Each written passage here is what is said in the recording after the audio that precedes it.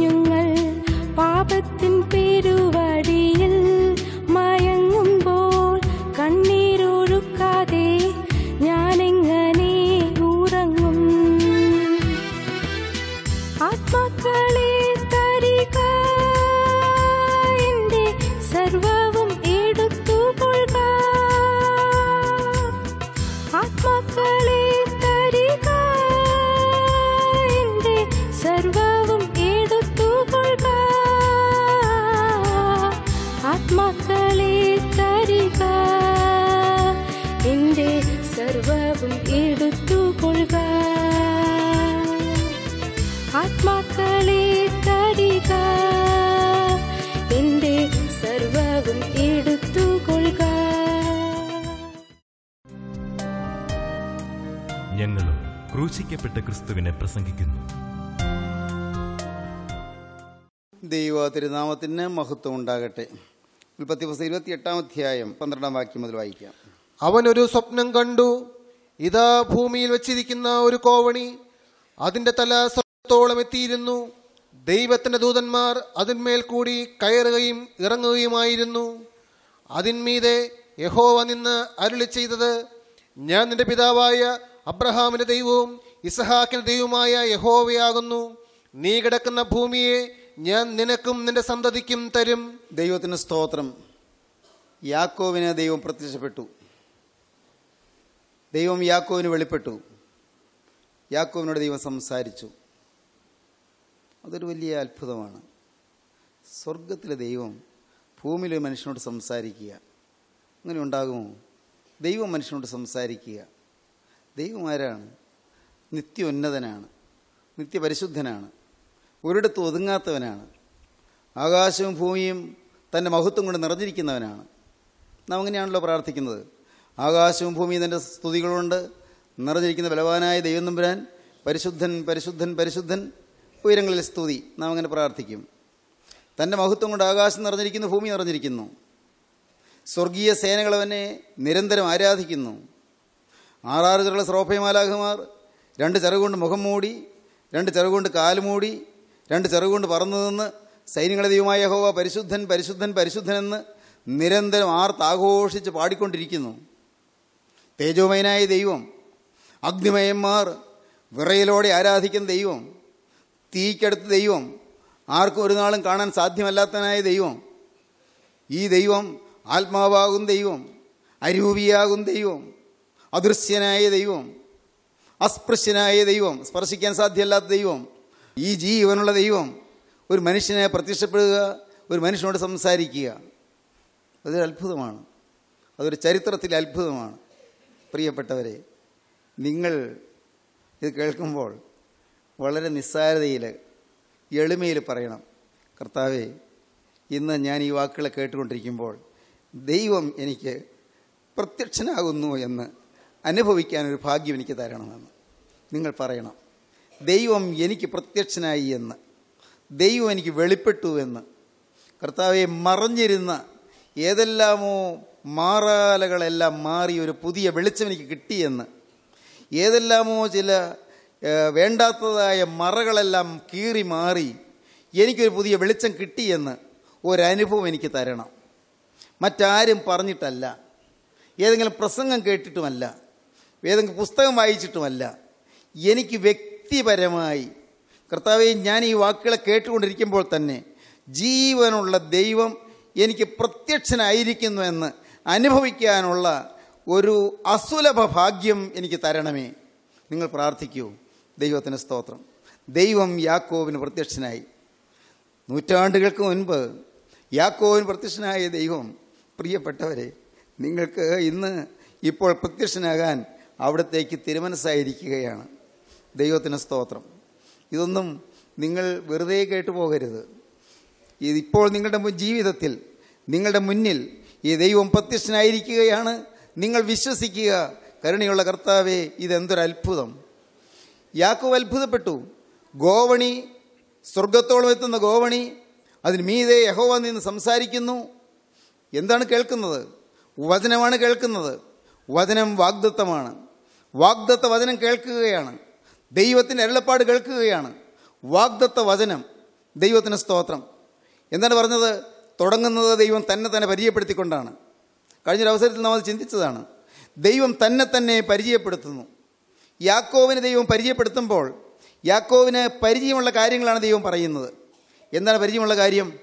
യാക്കോവിന് ദൈവം തന്നെ പരിചയപ്പെടുത്തുമ്പോൾ അപ്പന്റെ പേരിലാണ് പരിചയപ്പെടുത്തുന്നത്. അപ്പന്റെയും അപ്പന്റെ അപ്പന്റെയും പേരിൽ. അത് യാക്കോവിനറിയാം പെട്ടെന്ന് ഓർമ്മ വരും. കാരണം യാക്കോവിന്റെ ജീവിതത്തിൽ ആദ്യത്തെ പതിനഞ്ച് വർഷം പതിനഞ്ച് വയസ്സ് വരെ അപ്പന്റെ അപ്പനായ അബ്രഹാമിന്റെ കൂടെ ജീവിച്ചിട്ടുണ്ട്. അബ്രഹാമിന്റെ വാക്കുകൾ കേട്ടിട്ടുണ്ട്. അബ്രഹാമിന്റെ വിവരണങ്ങൾ കേട്ടിട്ടുണ്ട്. അബ്രഹാം പിതാവ് അബ്രഹാം പിതാവിന് പ്രത്യക്ഷപ്പെട്ട ദൈവത്തെക്കുറിച്ച് പറയുന്നതല്ല യാക്കോബ് കേട്ടിട്ടുണ്ട്. അന്ന് ഒരു കൊച്ചുകുട്ടി പതിനഞ്ച് വയസ്സ് വരെയുള്ള കുട്ടിക്ക് എന്ത് മനസ്സിലാകാനാണ്? അവൻ മനസ്സിലാകുന്നിടത്തോളം അവൻ കൊതിവ് കൊണ്ട് കേട്ടിരുന്നിട്ടുണ്ട്. എന്തെല്ലാം അനുഭവങ്ങളാണ് അപ്പന്റെ അപ്പൻ ഈ പറയുന്നത്? അബ്രഹാം പിതാവ് ഏതെല്ലാം കാര്യങ്ങളാണ് ഈ പറയുന്നത്? ഓരോന്ന് ഓരോന്ന് പറയുമ്പോഴെല്ലാം ഇങ്ങനെ അത്ഭുതം വിടർത്തിയ കണ്ണുകളോടെ അവനിങ്ങനെ കേട്ട് കേട്ടിരിക്കുകയാണ്. അവനിടയ്ക്ക് അവൻ അമ്പരപ്പോടെ നോക്കും ചിലപ്പോൾ അതിശയത്തോടെ നോക്കും ചിലപ്പോൾ ഭയപ്പാടോടെ നോക്കും ചിലപ്പോൾ അപ്പനെ അവൻ കെട്ടിപ്പിടിച്ചുകൊണ്ടിരിക്കും. അവന് ഒന്നും ഒന്നും മനസ്സിലാകുന്നില്ല. യാക്കോവ് അന്ന് കൊച്ചു കുട്ടിയാണ്. എന്നാൽ അവന്റെ ജീവിതത്തിൽ നേരിട്ട് ഈ അനുഭവം കിട്ടുകയാണ്. പിതാക്കന്മാർ കിട്ടിയ അനുഭവം അവന് കിട്ടുകയാണ്. ദൈവത്തിന് സ്തോത്രം. പൂർവ പിതാക്കന്മാർക്ക് കിട്ടിയ അനുഗ്രഹം പൂർവ പിതാക്കന്മാർക്ക് കിട്ടിയ അനുഭവം മകനെ നിനക്ക് തരുവാൻ ദൈവത്തിന് തിരുമനസ്സാണ്. പൂർവ പിതാക്കന്മാർ അനുഭവിച്ചിരുന്നു. പൂർവീക പുണ്യപിതാക്കന്മാർ അനുഭവിച്ചിരുന്നു. അവരുടെ കാൽനഖെന്തുമരീചികളെ ആ വാക്ക് നിങ്ങൾക്ക് മനസ്സിലായി കാണുകയില്ല. അവരുടെ കാൽപ്പാടുകളെ പിന്തുടരുവാൻ നമുക്കിന്ന് ഒരു ഭാഗ്യം ലഭിച്ചിരിക്കുകയാണ്. പൂർവികിതാക്കന്മാർ നാം ഒരു നവീകരണമല്ല നാം ഘോഷിക്കുന്നത് നാം ഒരു പൂർവീകരണമാണ് പറയുന്നത്. റീ ഓറിയന്റേഷനാണ് നാം ആഗ്രഹിക്കുന്നത് റിഫർമേഷൻ അല്ല നാം ഇന്ന് പ്രഘോഷിക്കുന്നത്. നാം ഒരു നവീകരണത്തിന്റെ പാതയിലല്ല നേരെ മറിച്ച് പൂർവീകരണത്തിന്റെ പാതയിലാണ്. പഴയകാല പിതാക്കന്മാർ അനുഭവിച്ചതായ സമ്പത്ത് പഴയകാല പിതാക്കന്മാർ നേടിയെടുത്തതായ സ്വത്ത് അതെന്ത് എന്ന് അനുഭവിക്കാനുള്ള മഹാഭാഗ്യമാണ് വക്രതയും കോട്ടമുള്ള തലമുറയിലുള്ള നമുക്ക് കർത്താവ് ദാനമായി തന്നിരിക്കുന്നത്. ഞാൻ നിന്റെ പിതാവായ അബ്രഹാമിന്റെ ദൈവവും ഇസ്ഹാക്കിന്റെ ദൈവവുമാകുന്നു എന്ന് യാക്കോവിനെ പരിചയപ്പെടുത്തിക്കൊണ്ട് ദൈവം തന്നെ തന്നെ യാക്കോവിനെ വെളിപ്പെട്ടു. ദൈവത്തിന് സ്തോത്രം. നമുക്ക് വായിക്കാം. ഭോണിയുടെ മീതെ യഹോവ നിന്ന് അരുളി ചെയ്തത് ഒന്നുകൂടി വായിക്കാം. അതിന്മീതെ യഹോവ നിന്ന് അരുളി ചെയ്തത് ഞാൻ നിന്റെ പിതാവായ അബ്രഹാമിന്റെ ദൈവവും ഞാൻ നിന്റെ പിതാവായ അബ്രഹാമിന്റെ ദൈവവും ഇസഹാക്കിന്റെ ദൈവവുമായ യഹോവയാകുന്നു. ഇസഹാക്കിന്റെ ദൈവവുമായ യഹോവയാകുന്നു. നീ കിടക്കുന്ന ഭൂമിയെ ഞാൻ നിനക്കും നിന്റെ സന്തതിക്കും തരും. നീ കിടക്കുന്ന ഭൂമിയെ ഞാൻ നിനക്കും നിന്റെ സന്തതിക്കും തരും. കുറേയേറെ കാര്യങ്ങൾ നമുക്ക് ധ്യാനിക്കാനുണ്ട് ഇവിടെ. കുറേയേറെ കാര്യങ്ങൾ. ഓരോന്നോരോന്ന് ധ്യാനിച്ച് ധ്യാനിച്ച് വരുമ്പോൾ നാം അങ്ങ് രോമാഞ്ചമണിയും. ദൈവത്തിന് സ്തോത്രം. ഈ ഭാഗം വായിക്കുമ്പോൾ പെട്ടെന്ന് മനസ്സിലേക്ക് വരുന്നത് യാക്കോവിന് ഏഴ് പ്രത്യക്ഷതകൾ ഉണ്ടായിട്ടുണ്ട് എന്നാണ്. ഈ സമയത്ത് ഇവിടെ യാക്കോവ് ആ ബേർസേബ മരുഭൂമിയിൽ ആ പ്രത്യേക സ്ഥലത്ത് എത്തിയപ്പോൾ ഉണ്ടായ പ്രത്യക്ഷതയ്ക്ക് ശേഷം പിന്നീട് യാക്കോവിന്റെ ജീവിതത്തിൽ ഏഴ് പ്രാവശ്യം ദൈവം പ്രത്യക്ഷപ്പെട്ടിട്ടുണ്ട്. ഏഴ് പ്രത്യക്ഷതകൾ. ദൈവത്തിന് സ്തോത്രം. കൂടെ കൂടെ ദൈവം പ്രത്യക്ഷപ്പെടുന്നു. ഓരോരോ സമയങ്ങളിൽ ദൈവം പ്രത്യക്ഷപ്പെടുന്നു. ഓരോരോ സമയങ്ങളിൽ. നിങ്ങൾ ദൈവത്തോട് പറയണം കർത്താവേ ഞാൻ രോഗിയായി അവശ നിലയിൽ കിടക്കുമ്പോൾ നീ എന്റെ അരികത്തേക്ക് വരണമേ. കർത്താവെ ഞാൻ മനസ്സ് നൊന്ത് വിങ്ങി വിഷമിച്ച് ഞാൻ ഇരിക്കുമ്പോൾ നീ എന്റെ അരികത്തേക്കൊന്ന് വരണമേ.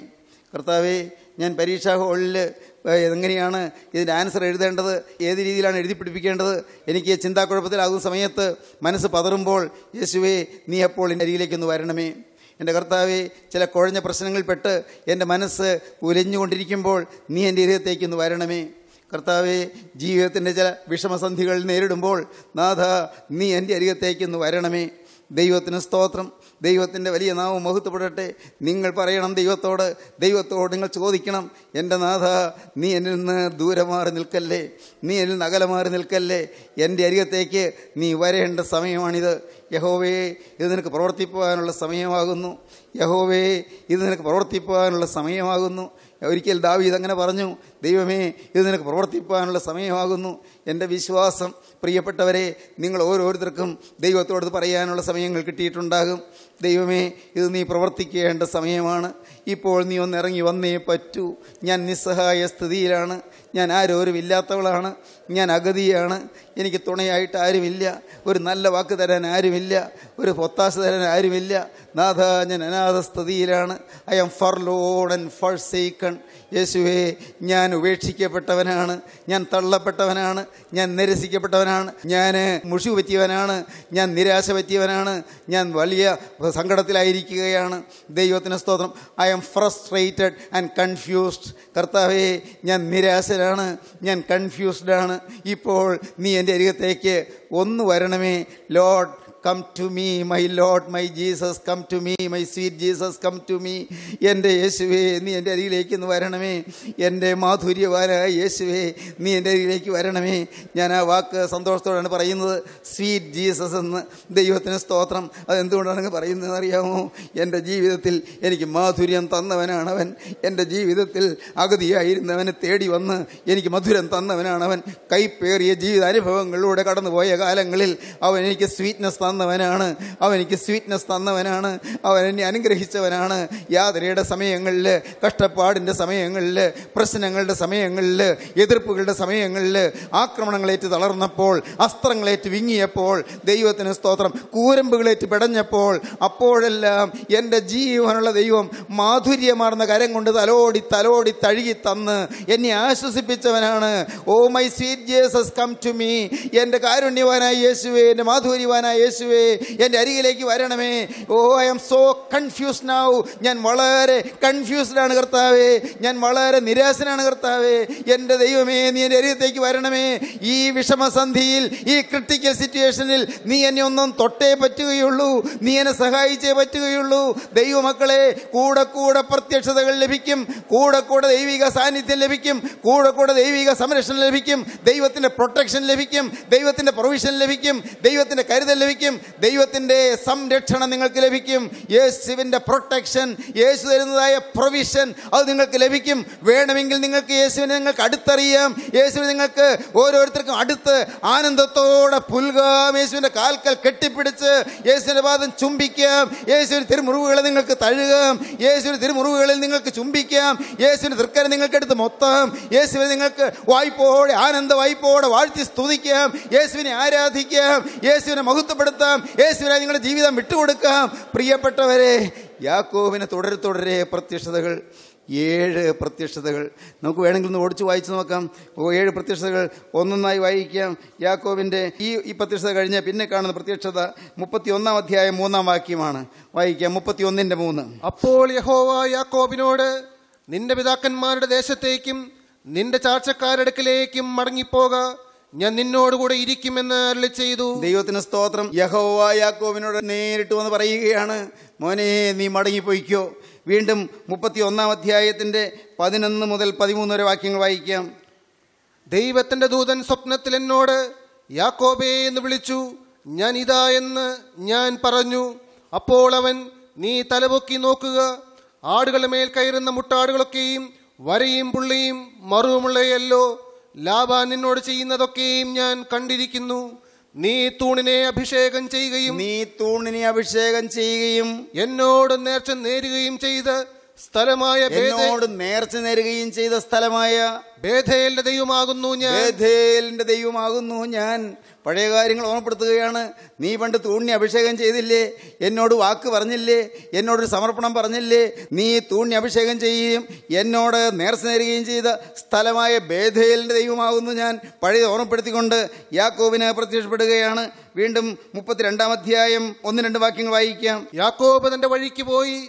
ദൈവത്തിന്റെ ദൂതന്മാർ അവന്റെ എതിരെ വന്നു. ദൈവത്തിന്റെ ദൂതന്മാർ അവനെതിരെ വന്നു. ദൈവം പ്രത്യക്ഷനാവുകയാണ്. മുപ്പത്തിരണ്ടാം അധ്യായം ഇരുപത്തിനാലാം വാക്യം. അപ്പോൾ ഒരു പുരുഷൻ ഉഷസാകുവോളം അവനോട് മല്ല് പിടിച്ചു. ഒരു പുരുഷൻ ഉഷസാകുവോളം യാക്കോവനോട് മല്ല് പിടിച്ചു. അവനെ ജയിക്കയില്ല എന്ന് കണ്ടപ്പോൾ അവൻ അവന്റെ തുടയുടെ തടം തൊട്ടു. ജയിക്കില്ല എന്ന് കണ്ടപ്പോൾ അവൻ അവന്റെ തുടയുടെ തടം തൊട്ടു. ദൈവത്തിന് സ്തോത്രം. വീണ്ടും നമുക്ക് വായിക്കാം. മുപ്പതാം വാക്യം അതിൽ തന്നെ മുപ്പതാം വാക്യം. ഞാൻ ദൈവത്തെ മുഖാമുഖമായി കണ്ടിട്ടും ആ പുരുഷൻ ആരാണെന്ന് പറയുന്നു? ഞാൻ ദൈവത്തെ മുഖാമുഖമായി കണ്ടിട്ടും. എനിക്ക് ജീവഹാനി വന്നില്ല എന്ന് യാക്കോബ് പറഞ്ഞു. ജീവഹാനി വന്നില്ല എന്ന് യാക്കോബ് പറഞ്ഞു. മുപ്പത്തി അഞ്ചാം അധ്യായം ഒന്നാം വാക്യം. അനന്തരം ദൈവം യാക്കോബിനോട് നീ പുറപ്പെട്ട് നീ പുറപ്പെട്ട് ബേഥേലിൽ ചെന്ന് പാർക്ക. ബേഥേലിൽ ചെന്ന് പാർക്ക. നിന്റെ സഹോദരനായ യേശാവിന്റെ മുമ്പിൽ നിന്ന് നീ ഓടിപ്പോകുമ്പോൾ നിനക്ക് പ്രത്യക്ഷനായ ദൈവത്തിന് അന്ന് അന്ന് വർഷങ്ങൾക്ക് മുമ്പ് ഇരുപത് വർഷം മുമ്പ് നിനക്ക് പ്രത്യക്ഷനായ ദൈവത്തിന് അവിടെ ഒരു യാഗപീഠം ഉണ്ടാക്കുക അവിടെ. നീ വീണ്ടും ഒരു യാഗപീഠം ഉണ്ടാക്കുക എന്ന് പറഞ്ഞ ദൈവം പ്രത്യക്ഷനായി. മുപ്പത്തി അഞ്ചാം അധ്യായം ഒൻപത് മുതൽ പതിമൂന്ന് വരെ വാക്യങ്ങൾ. യാക്കോബ് പദ്നാരാമിൽ നിന്ന് വന്ന ശേഷം ദൈവം അവന് പിന്നെയും പ്രത്യക്ഷനായി. ദൈവം അവന് പിന്നെയും പ്രത്യക്ഷനായി. വീണ്ടും നാൽപ്പത്തി ആറാം അധ്യായം ഒന്ന് മുതൽ നാല് വരെ വാക്യങ്ങൾ. അനന്തരം ഇസ്രായേൽ തനിക്കുള്ള സകലവുമായി യാത്ര പുറപ്പെട്ടു. ബേർഷേബിയിൽ എത്തി. തന്റെ പിതാവായ ഇസഹാക്കിന്റെ ദൈവത്തിന് യാഗം കഴിച്ചു. പിതാവായ ഇസഹാക്കിന്റെ ദൈവത്തിന് യാഗം കഴിച്ചു. ദൈവം ഇസ്രായേലിനോട് ദൈവം പ്രത്യക്ഷപ്പെട്ട് പറയുകയാണ് യാക്കോവിനോട് പറയുകയാണ്. രാത്രി ദർശനങ്ങളിൽ രാത്രി ദർശനങ്ങളിൽ യാക്കോബേ യാക്കോബേ എന്ന് വിളിച്ചതിന് യാക്കോബേ യാക്കോബേ എന്ന് വിളിച്ചതിന് ഞാൻ ഇതാ എന്ന് അവൻ പറഞ്ഞു. ഇതാ എന്ന് പറഞ്ഞു. അപ്പോൾ അവൻ അപ്പോൾ ദൈവം വരാൻ പറഞ്ഞു. ഞാൻ ദൈവമാകുന്നു. ഞാൻ ദൈവമാകുന്നു. നിന്റെ പിതാവിന്റെ ദൈവം തന്നെ. നിന്റെ പിതാവിന്റെ ദൈവം തന്നെ. മിശ്രൈമിലേക്ക് പോകുവാൻ ഭയപ്പെടേണ്ട. മിശ്രൈമിലേക്ക് പോകുവാൻ ഭയപ്പെടേണ്ട. അവിടെ ഞാൻ നിന്നെ വലിയൊരു ജാതിയാക്കും എന്ന് അവിടെ ഞാൻ നിന്നെ വലിയൊരു ജാതിയാക്കും. ഏഴ് പ്രാവശ്യം ദൈവം തമ്പുരാൻ യാക്കോവിന് പ്രത്യക്ഷനായി. ദൈവം യാക്കോവിന് വെളിപ്പെട്ടു. എന്റെ സഹോദരങ്ങളെ നിങ്ങൾക്ക് ദൈവിക പ്രത്യക്ഷത വേണമോ? ദൈവം നിങ്ങൾക്ക് നേരിട്ട് ഇടപെടുന്നത് നിങ്ങൾക്ക് അനുഭവിക്കണമോ? ദൈവത്തിന്റെ വചനത്തിൽ കൂടി ദൈവം നിങ്ങൾക്ക് പ്രത്യക്ഷനാകുന്നു. ദൈവത്തിന്റെ വചനത്തിൽ കൂടി ദൈവത്തിന്റെ ശബ്ദത്തിൽ കൂടി ജീവനുള്ള ദൈവം നമുക്ക് പ്രത്യക്ഷനാകുന്നു. അവൻ നമ്മോട് ഇടപെടുന്നു. അവൻ നമ്മെ പഴയ കാര്യങ്ങൾ ഓർമ്മപ്പെടുത്തുന്നു. പഴയ കഥകൾ നമ്മെ ഓർമ്മപ്പെടുത്തുന്നു. പണ്ടത്തെ സമർപ്പണത്തിന്റെ കാര്യം ഓർമ്മപ്പെടുത്തുന്നു. പണ്ടത്തെ നേർച്ചയുടെ കാര്യം ഓർമ്മപ്പെടുത്തുന്നു. പണ്ട് നേർച്ച നേർന്നതായ സ്ഥലത്തിന്റെ കാര്യം ഓർമ്മപ്പെടുത്തുന്നു. പണ്ട് പ്രതിഷ്ഠിച്ചതായ ഭേദകലിന്റെ കാര്യം ഓർമ്മപ്പെടുത്തുന്നു. പണ്ട് യാഗം കഴിച്ചതും യാഗപീഠം പണിതതുമായ സ്ഥലത്തിന്റെ കാര്യം ഓർമ്മപ്പെടുത്തുന്നു. പണ്ട് ദൈവത്തോട് ഉടമ്പടി ചെയ്തതായ സ്ഥലത്തിന്റെ കാര്യം ഓർമ്മപ്പെടുത്തുന്നു. പഴയ കാര്യം ഓർമ്മപ്പെടുത്തിയിട്ട് വീണ്ടും വീണ്ടും വാഗ്ദത്തങ്ങൾ പുതുക്കി തരുന്നു ദൈവം വാഗ്ദത്തം തരുന്നവനാണ്. ദൈവത്തിന് സ്തോത്രം. സ്നേഹിതരെ നിങ്ങൾക്ക് ഇപ്പോൾ ദൈവം ചില വാഗ്ദത്തങ്ങൾ തരികയാണ്. കർത്താവിന് സ്തോത്രം. അന്ത്യത്തോളം നിങ്ങളോട് കൂടെ ഇരിക്കാമെന്ന് നിങ്ങൾക്ക് പ്രതീക്ഷയില്ലാത്ത കാര്യങ്ങളാണ്. അല്പം പോലും പ്രതീക്ഷയില്ല. ഇതാ തീരാൻ പോവുകയാണെന്ന് വിചാരിച്ചത്.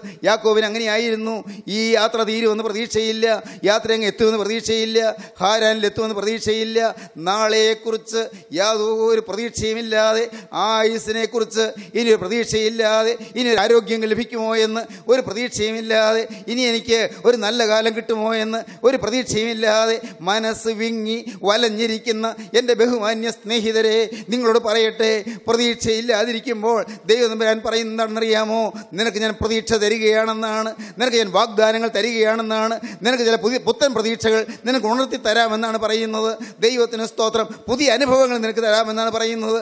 പുതിയ കാഴ്ചപ്പാട് നിനക്ക് തരാമെന്നാണ് പറയുന്നത്. പുതിയ വഴികളിലൂടെ നിന്നെ കൊണ്ടുപോകാമെന്നാണ് പറയുന്നത്. പുതിയ അനുഭവങ്ങളിലേക്ക് നിന്നെ നയിക്കാമെന്നാണ് പറയുന്നത്. അനുഗ്രഹീതമായ അനുഭവങ്ങൾ നിനക്ക് തരാമെന്ന് പറഞ്ഞുകൊണ്ട് സ്വർഗത്തിലെ ദൈവം നിന്റെ അരികിലേക്ക് വന്ന് നിന്നെ തലോടുകയാണ് നിന്നെ താങ്ങുകയാണ്. തളരാതെ നീ ഉലയാതെ നീ വാടാതെ മകനെ നിന്നെ അവൻ മാറോട് അടക്കി പിടിക്കുകയാണ്. നിന്നെ അവൻ ചേർത്തണയ്ക്കുകയാണ് മകളെ അവൻ തന്റെ കരം നിന്റെ ശിരസിൽ വെക്കുകയാണ്. അവൻ നിന്നെ ആശ്വസിപ്പിക്കുകയാണ്. നിന്റെ കണ്ണുനീര് തുടച്ചു തരികയാണ്. നിന്റെ ദുഃഖഭാരങ്ങൾ അകറ്റി തരികയാണ്. നിന്റെ മാനസ ക്ലേശങ്ങൾ ദൂരീകരിച്ച് തരികയാണ്. സമാധാനം നിനക്ക് നിറവടിയായി പകർന്നു തരികയാണ്. ദൈവം എന്താണ് പറഞ്ഞത് ഇരുപത്തിയെട്ടാം അധ്യായം പതിമൂന്നാം വാക്യം മുതൽ വായിക്കാം. അതിന് മീതെ ഹോവ നിന്ന് അരുളി ചെയ്തത് ഞാൻ നിന്റെ പിതാവായ അബ്രഹാമിന്റെ ദൈവവും ഇസഹാക്കിന്റെ ദൈവമായ യഹോവയാകുന്നു.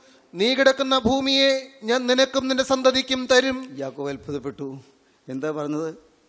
തീരാണെന്നല്ലേ വിചാരിച്ചത്? ഈ ഉള്ളവന് ഇനിയുണ്ടോ? ഒരു വിവാഹം കിട്ടാൻ പോകുന്നു.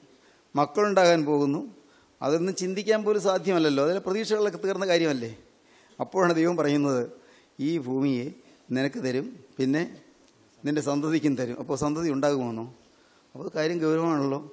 ഇങ്ങനെ പ്രതീക്ഷയില്ലല്ലോ. എനിക്കിനി ഒരു മക്കളുണ്ടാകുമോ? എനിക്കൊരു വിവാഹം ഉണ്ടാകുമോ? എനിക്കൊരു ഭാവിയുണ്ടോ? ഇതല്ലേ ചിന്തിച്ചിരുന്നത്? ദൈവ പൈതലേ നീ കേൾക്കൂ. നിന്റെ പ്രതീക്ഷകളെല്ലാം തകർന്നിരിക്കുമ്പോൾ സ്വർഗത്തിലെ ദൈവം ചില പുതു നാമ്പുകൾ നിനക്ക് കിളിർപ്പിച്ച് തരികയാണ്. ആശയുടെ പുതു കിരണങ്ങൾ നിനക്ക് തരികയാണ്. ദൈവത്തിന് സ്തോത്രം.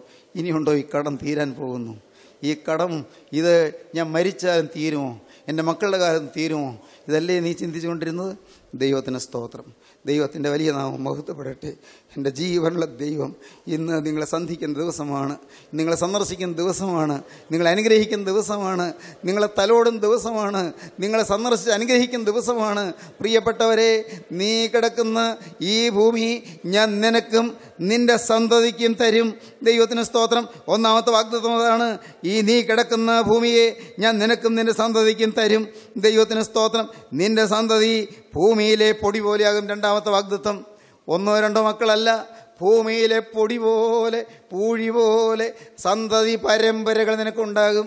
പണ്ട് പന്ത്രണ്ടാം അധ്യായത്തിൽ ഉൽപ്പത്തി പുസ്തകത്തിൽ യാക്കോവിന്റെ അപ്പന്റെ അപ്പനായ അബ്രഹാമിന് കൊടുത്ത ഏഴ് വാഗ്ദത്തങ്ങൾ പോലെ യാക്കോവിനും ഏഴ് വാഗ്ദത്തങ്ങൾ തരികയാണ്. പന്ത്രണ്ടാം അധ്യായം പഠിച്ചപ്പോൾ നാം അത് കണ്ടതാണ്. അബ്രഹാമിന് ഏഴ് വാഗ്ദത്തങ്ങൾ ലഭിച്ചു. ഇവിടെ ഇതാ യാക്കോവിനും ഏഴ് വാഗ്ദത്തങ്ങൾ ലഭിച്ചു. ഏഴ് പൂർണതയെ കാണിക്കുന്നു. പൂർണമായ വാഗ്ദത്തങ്ങൾ പൂർണമായ നിറവേറിയ വാഗ്ദത്തങ്ങൾ നിറവുറ്റ വാഗ്ദാനങ്ങൾ ദൈവം നമുക്ക് തരികയാണ്. അപ്പന്റെ അപ്പന് കൊടുത്തു വാഗ്ദത്തം. അതേ ദൈവം മാറ്റമില്ലാത്തവനാണ്. ആ ദൈവം നിനക്കും വാഗ്ദത്തം തരികയാണ്. ദൈവത്തിന് സ്തോത്രം. അപ്പന്റെ അപ്പൻ കടന്നുപോയി മക്വേല ഗുഹയിൽ വിശ്രമിക്കുകയാണ്. പക്ഷേ ഇന്ന് അപ്പന്റെ അപ്പൻ ഭൂമിയിലില്ല. എന്നിട്ടും യാക്കോവിന് വാഗ്ദാനങ്ങൾ അതേപോലെ തന്നെ പുതുക്കി കൊടുക്കുകയാണ്. നമ്മുടെ പൂർവപിതാക്കന്മാർ അക്ഷരപ്രകാരം ശാരീരികമായി നമ്മുടെ കൂടെ ഇല്ല. എങ്കിലും നമുക്ക് വാഗ്ദാനങ്ങൾ പൂർവപിതാക്കന്മാരെ അനുഗ്രഹിച്ച വാഗ്ദാനങ്ങൾ അവൻ നമുക്കും തരികയാണ്. ദൈവത്തിന് സ്തോത്രം. ഈ നല്ലവനായ ദൈവത്തെ നിങ്ങൾ മറക്കരുതേ എന്ന് ഞാൻ പറയട്ടെ. ഈ ദൈവത്തെ നിങ്ങൾ മറന്നു കളയരുതേ. വാഗ്ദാനങ്ങൾ തരും ദൈവം. സ്നേഹത്തിന്റെ വാഗ്ദാനങ്ങൾ തരും ദൈവം. കരുതലിന്റെ വാഗ്ദാനങ്ങൾ തരും ദൈവം. പ്രോമിസസ് ദൈവം നമുക്ക് വേണ്ടി കരുതി വെച്ചിരിക്കുന്നു.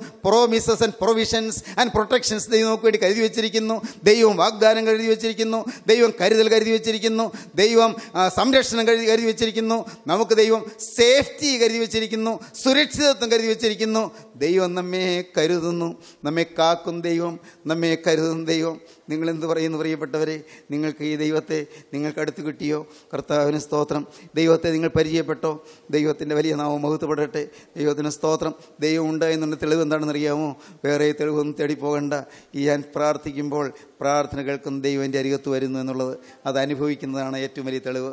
ദൈവത്തിന് സ്തോത്രം. വേറെ തെളിവും തേടിപ്പോകേണ്ട പോകണ്ട.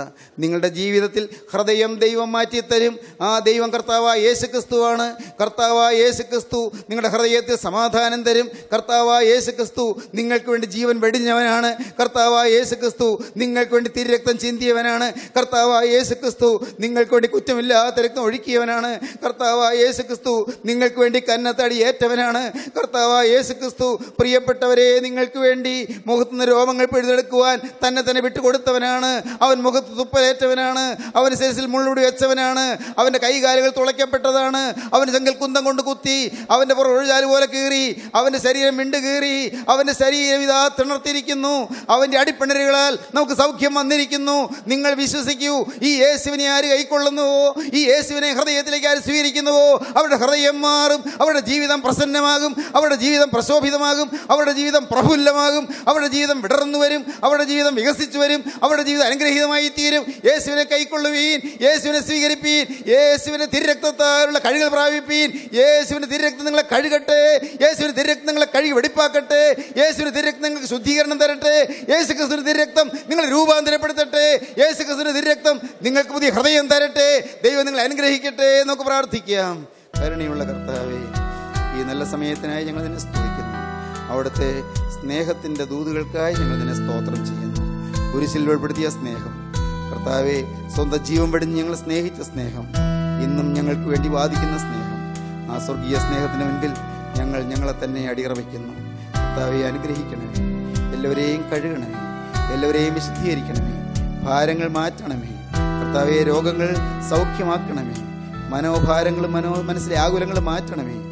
എല്ലാവരെയും തൃക്കരം വെച്ച് ആശീർവദിക്കണമേ. ഭാവി ശോഭനമാക്കണമേ. കർത്താവെ യുവജനങ്ങളെ എന്റെ കർത്താവിന്റെ വഴിയിലേക്ക് തിരിക്കണമേ. അനേക യുവാക്കന്മാർ വഴിതെറ്റി പോകുന്നല്ലോ കർത്താവെ. സത്യപാതയിലേക്ക് യുവജനങ്ങൾ തിരിയുവാൻ ഇടയാക്കണമേ. കർത്താവെ കുടുംബത്തിൽ സമാധാനം ഉണ്ടാകണമേ.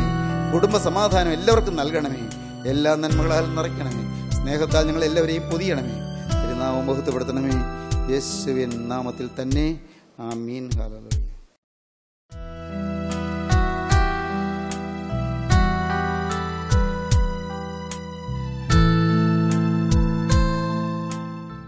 professor M Y Yohannan power vision T വിയിൽ പ്രസംഗിക്കുന്നു. എല്ലാ ദിവസവും രാവിലെ അഞ്ച് മുപ്പതിനും ഉച്ചയ്ക്ക് ഒന്ന് മുപ്പതിനും രാത്രി എട്ട് മുപ്പതിനും. ഈ ആശ്വാസ സന്ദേശം നിങ്ങൾ ശ്രദ്ധിച്ചുവല്ലോ. നിങ്ങളുടെ അഭിപ്രായങ്ങളും പ്രാർത്ഥനാ വിഷയങ്ങളും ഞങ്ങളെ എഴുതി അറിയിക്കുമല്ലോ. ഞങ്ങളുടെ വിലാസം professor M Y Yohannan post box number seventeen Kolenchery six eight Two 2311 phone 9142 303096.